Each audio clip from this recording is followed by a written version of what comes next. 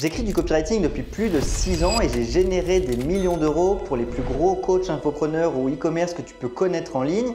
Et dans cette vidéo, je vais t'expliquer justement les 10 étapes que tu peux utiliser si tu as envie de devenir copywriter ou d'utiliser le copywriting pour vendre plus en ligne. Que tu le veuilles ou non, aujourd'hui le copywriting c'est la compétence numéro 1 en ligne si tu veux réussir à vendre, que ce soit pour ton propre business ou si tu veux devenir freelance et proposer ce genre de service à des entreprises. Et clairement, si tu suis pas ces 10 étapes, tu pourras jamais vendre en ligne ou pas autant que tu ne pourrais. Reste bien attentif car dans les prochaines minutes, je vais te partager ces 6 années condensées justement en 10 étapes pour que tu puisses booster tes ventes ou aider des entreprises si tu es copywriter.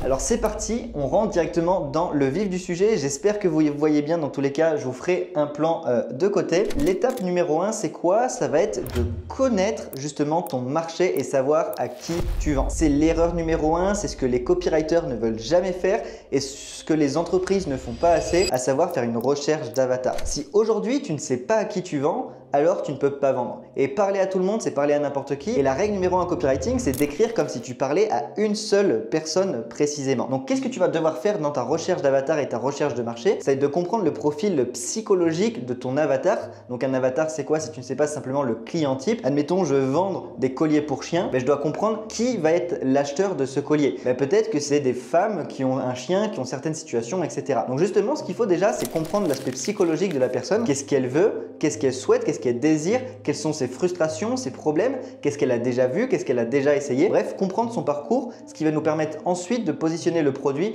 basé justement sur cet avatar précis. Et au-delà de l'aspect psychologique, il faut aussi avoir un aspect démographique pour comprendre vraiment notre marché cible, à savoir à qui on parle. Typiquement, je donne mon exemple pour les copywriters. Donc j'ai un organisme de formation où on accompagne justement des particuliers qui veulent se reconvertir et devenir copywriter. Et eh bien on vise une typologie démographique très précise, à savoir des salariés qui sont bien souvent dans la trentaine, qui souvent ils ont un enfant ou ils vont en avoir et ils en ont marre de leur job et ils veulent changer de job. Et donc toutes ces informations, elles sont super importantes à savoir, ce qui va nous permettre d'écrire du bon copywriting par la suite. Et ça, on le voit aujourd'hui avec Joseph, on accompagne, donc on est toujours copywriter, hein. petit aparté, mais euh, aujourd'hui sur le marché, il y a beaucoup de gens qui vendent des formations, dont des formations copywriting, alors qu'ils n'ont jamais été copywriter euh, de leur vie. Nous, on l'a été, je le suis depuis 2018, 2016 pour Joseph, et on l'est toujours, on accompagne toujours des entreprises aujourd'hui à augmenter leurs ventes avec le copywriting. Et ces entreprises qu'on vise, nous en général, elles font 20, 30, 40, 50 000 euros de chiffre d'affaires mensuel. On les aide à justement euh, dépasser la barre des 100 000 et on remarque qu'à chaque fois, l'erreur numéro 1, c'est qu'ils connaissent pas assez leur avatar.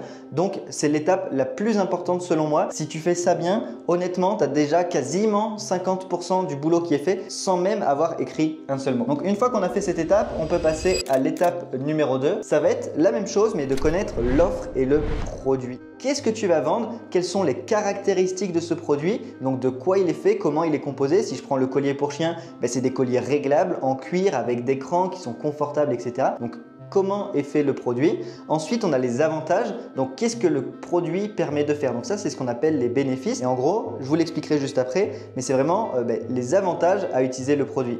Donc, par exemple, le collier, ben, il va être confortable. Ça, c'est pas une caractéristique, c'est le fait que ce soit en polyester euh, de 3 mm, la caractéristique qui fait qu'il est confortable. Donc ça, c'est super important. Et après, ce qu'il faudra, c'est le P. Donc, c'est la méthode CAP, caractéristique, avantage, preuve. Donc, tu vas vraiment lister tout ça sur le produit pour vraiment le maîtriser, le comprendre ce qui va te permettre de le présenter ensuite et de le vendre de manière plus efficace. Une fois qu'on connaît notre avatar et qu'on connaît notre produit, on va pouvoir commencer à passer à la rédaction. Et pour la rédaction, j'ai plusieurs conseils. Et le premier, c'est d'écrire comme tu parles.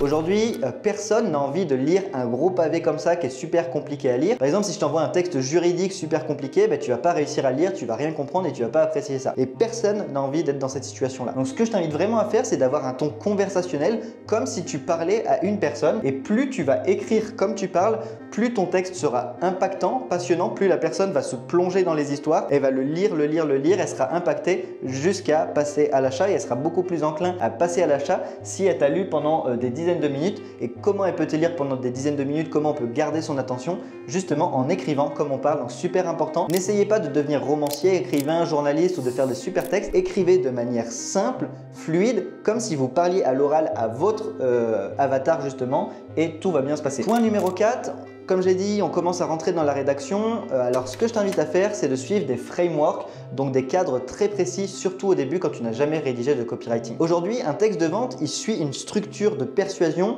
très précises. Et si tu n'es pas justement habitué à écrire des textes, bah, tu vas partir dans tous les sens et du coup ton texte il ressemblera plus à rien. Donc moi ce que je t'invite à faire c'est de suivre une structure, même si c'est contraignant au début, qui est très précise. Là, par exemple, la structure PAS, problème, agitation, solution, ça va être la structure du texte. Le problème, on va parler du problème de la personne. Est-ce que tu en as marre d'avoir des kilos en trop et de te sentir mal dans ton corps? On va agiter le problème. Tu te balades dans la rue, tu sens les gens qui te regardent, tu n'oses plus te mettre en maillot de bain, tu rentres plus dans tes jeans. On va vraiment agiter le problème et on va présenter la solution. Mais découvre notre méthode XYZ qui permet à 4000 personnes déjà d'avoir perdu du poids, etc. Donc là, tu vois qu'en deux secondes, j'ai pu écrire un script entre guillemets de publicité grâce à la structure PAS. Et donc, ce que je t'ai mis ici, c'est vraiment ce genre de structure. Elles sont garanties. Elles existent depuis des dizaines et des dizaines d'années. Dans les années 70, elles existaient déjà. Elles existent encore aujourd'hui et elles fonctionnera toujours. Pourquoi?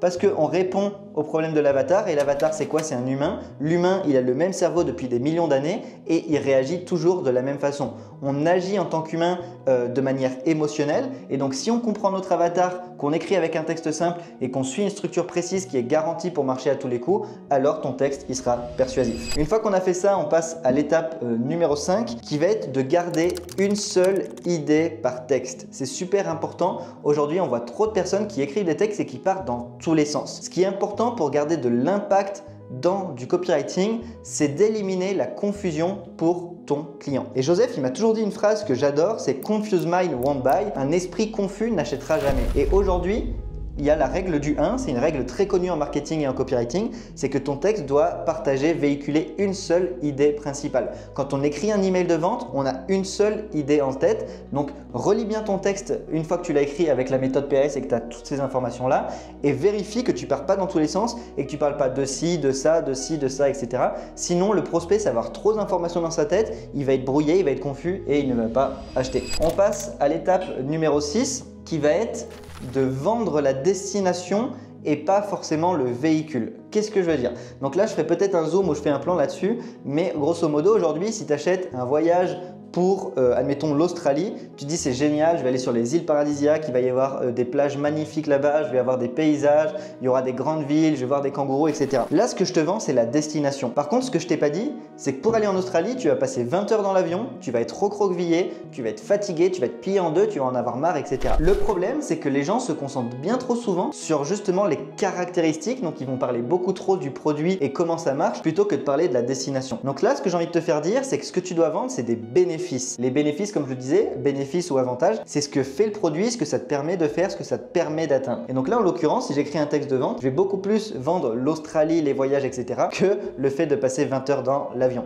Il y a un exemple encore plus simple et beaucoup plus criant qu'on utilise toujours en marketing, c'est vends le trou, pas la perceuse.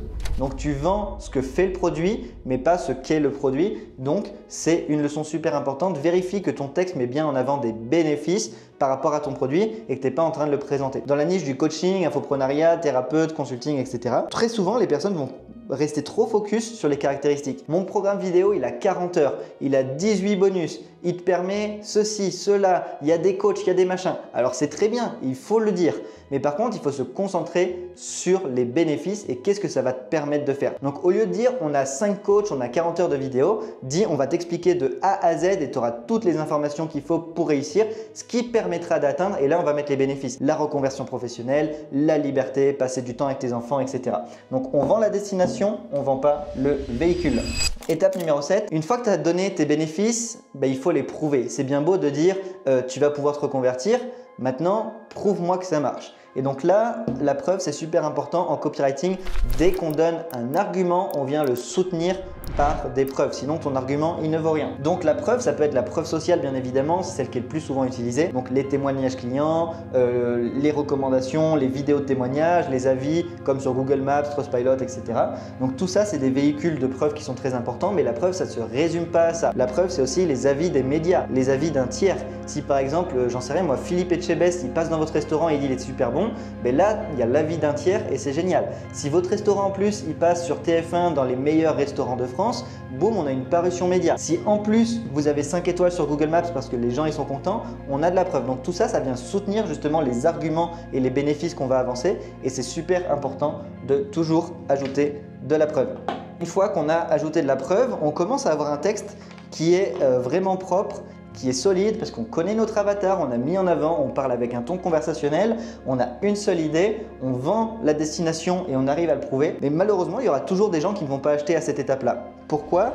Parce qu'ils sont sceptiques et ils ont ce qu'on appelle des objections. Des objections, c'est quoi? C'est simplement des choses qui les retiennent d'acheter, des peurs, des croyances qu'ils ont. Et donc, une objection, si on résume ce que c'est, c'est quelqu'un qui va dire oui, mais moi. Mais moi, c'est différent mais moi je suis comme ça. Est-ce que pour moi ça marche? Mais moi j'ai pas le temps, mais moi j'ai pas de diplôme, mais moi je sais pas écrire, mais moi euh, mon chien il est comme ça, moi il est petit, il est grand, il est âgé, il est adulte, il a les poils longs. Bref, il y aura toujours une excuse. Donc ce que tu dois faire, c'est tout ça, tu dois le lister, tu dois l'anticiper et tu vas le présenter justement quand tu vas décrire les problèmes et la solution. Tu vas anticiper toutes les peurs et tous les problèmes que le prospect peut avoir pour les dégommer, donc contrer les objections. Tu vas tordre les nuques, la nuque euh, justement aux problèmes de ton prospect en les anticipant et en expliquant comment ton produit va répondre justement à ces potentielles peurs et ses potentiels problèmes. Je te donne un exemple concret. Une personne euh, dans l'éducation canine qui va dire oui mais moi j'ai un grand chien c'est différent. Ben là on va pouvoir apporter de la preuve et le contrer en amont en disant notre méthode elle fonctionne pour les chiens qui soient petits, grands, moyens, âgés, poilus ou pas. Et donc Juste le fait d'écrire cette phrase, par exemple, dans notre argumentaire de vente, et eh bien la personne qui aurait eu à la fin euh, ben, l'envie de se retenir d'acheter parce qu'elle va se dire oui mais moi mon chien c'est différent. Donc elle a toujours l'esprit confus, elle a un doute dans sa tête et une personne qui a un doute n'achète pas, et eh bien on l'a dégommé en amont à travers notre texte et on n'attend pas que le prospect se dise l'objection Hum, ouais, ça c'est bizarre, mais est-ce que ça va marcher pour moi? Non, il faut le faire en amont pour qu'elle ait même pas cette réflexion-là. Donc ça, c'est une étape super importante quand tu écris un texte de vente. Pense bien à anticiper et contrer les objections. On passe à l'étape 9, on arrive bientôt à la fin pour être capable de rédiger un très bon texte de vente. Donc si tu aimes bien ce genre de vidéo, n'hésite pas à me le dire dans les commentaires, à lâcher un like. Et si tu as des sujets de vidéo précis sur lesquels tu veux que j'appuie et que je te fasse des démonstrations, des analyses, etc., n'hésite pas à me le dire dans les commentaires. Une fois qu'on a anticipé les objections, bah, qu'est-ce qu'on fait On a un texte de vente qui est bon, on va faire un appel à l'action, en anglais un call to action, un CTA. Et donc le CTA, c'est pareil, c'est une erreur que je vois souvent, c'est le moment où on va dire à la personne, ok, clique ici, inscris-toi, réserve ton appel, etc. Le problème, c'est que bien souvent, il n'est pas assez précis, il n'est pas spécifique, il n'est pas assez cadré. Donc un appel à l'action, les règles, c'est qu'il faut ajouter un bénéfice. Clique ici si tu veux avoir un chien épanoui et bien éduqué plutôt que juste clique ici. Tout de suite, c'est beaucoup plus impactant. Au-delà de ça, il faut expliquer les étapes et qu'est-ce qui va se passer. Clique ici si tu veux un chien épanoui. Tu vas atterrir sur une page sur laquelle tu vas pouvoir rentrer tes informations et directement, une fois que tu auras validé, tu auras accès à ton programme en ligne. Là, dans notre appel à l'action. Donc c'est pas juste le bouton, c'est tout le contexte qu'il y a autour et donc il faut toujours cadrer et prendre la personne par la main lui expliquer les étapes par lesquelles elle va passer pour qu'elle puisse se visualiser, comprendre et qu'encore une fois, il n'y ait aucun doute. Il faut aucune confusion dans la tête du prospect et ça passe par un appel à l'action qui est clair, qui injecte un bénéfice et qui est très précis sur ce qu'on doit faire, quelle est l'étape logique pour le prospect une fois qu'il est passé à travers ça. Et bien c'est de cliquer et de passer à l'action et donc il faut le préciser comme il faut. Étape euh, numéro 10, il va falloir se relire. Donc une fois qu'on a fait tout ça, tu as ton texte de vente, ton email, ta pub, ta page de vente, ta VSL, peu importe. Et donc, ben, tu vas attendre un jour, tu vas poser ton texte, tu vas revenir le lendemain dessus. Et le lendemain, tu auras un œil différent qui sera reposé avec un esprit euh, complètement différent. Et là, je t'invite à relire à voix haute ton texte. Tu vas le prendre, tu vas le lire, tu vas l'interpréter et tu vas voir est-ce qu'il y a des lourdeurs, est-ce qu'il y a des répétitions, est-ce qu'il y a des mots qui sont inutiles, des mots en trop Et donc comme je te l'ai mis là, tu vas venir peaufiner ton texte basé sur ta relecture à voix haute. Et tu peux même, une fois que tu as fait cette étape 10, reattendre 24 heures, revenir dessus le lendemain et tu auras encore un œil différent, ce qui va te permettre d'avoir une version définitive. Je vois beaucoup trop de copywriters qui écrivent un texte, qui l'envoient sans le relire et en fait il y a encore des fautes dedans, il y a des répétitions, il y a des mots en double, il y a des lourdeurs et du coup ça fait que le texte est beaucoup moins impactant que ce qu'il pourrait être parce qu'ils sont allés trop vite. Et je dis les copywriters mais les entrepreneurs et les entreprises c'est exactement pareil. Donc une fois qu'on a suivi ces 10 étapes, ben déjà on a un bon texte de vente et donc on est capable de générer des euros. Donc ça, c'est les 10 étapes qui vont te permettre de toujours rédiger un texte de vente qui convertit, peu importe ta niche, peu importe ton industrie, peu importe que tu sois débutant ou non. Si tu suis ces 10 étapes, alors tu seras capable de générer de l'argent avec la compétence qu'est le copywriting. Donc si justement tu veux en savoir plus sur ce métier, si tu veux savoir les trois étapes pour te lancer dans le copywriting, j'ai créé une masterclass 100% offerte. Tu as juste à cliquer sur le bouton en description ou en premier commentaire épinglé. C'est 100% offert, tu mets tes informations